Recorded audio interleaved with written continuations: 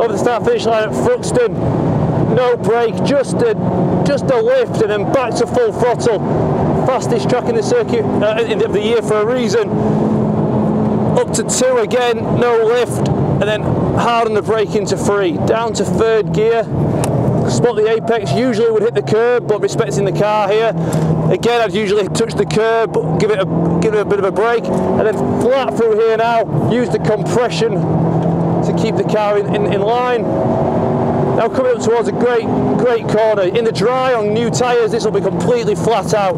No lift whatsoever. Just ride the bumps and really, really feel in tune with the car. Next we have a dab of brake and then we just throw it in.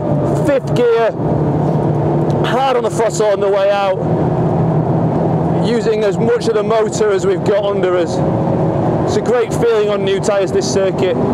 Up to church, take a deep breath, separate the men from the boys a little bit, a dab of the brake, send it in in full throttle, and hope that you don't run out of road on the exit.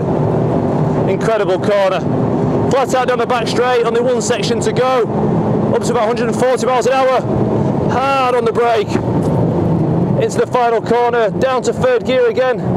Gonna spot the apex, usually I'd hit the curbs hard, and then hard across the final curve before heading to the line.